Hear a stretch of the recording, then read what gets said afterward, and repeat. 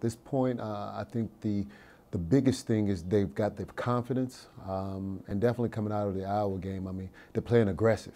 So um, knowing the offense, like I said, is not the issue for this group.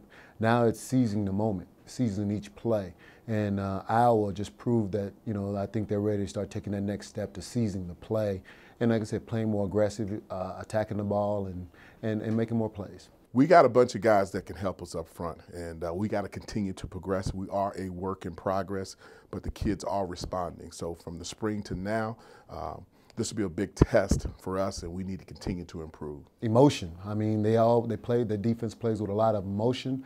Um, you know, they come ready. I mean, everybody on the sideline, from the coaches to you know the the trainers, are, are very st- ecstatic.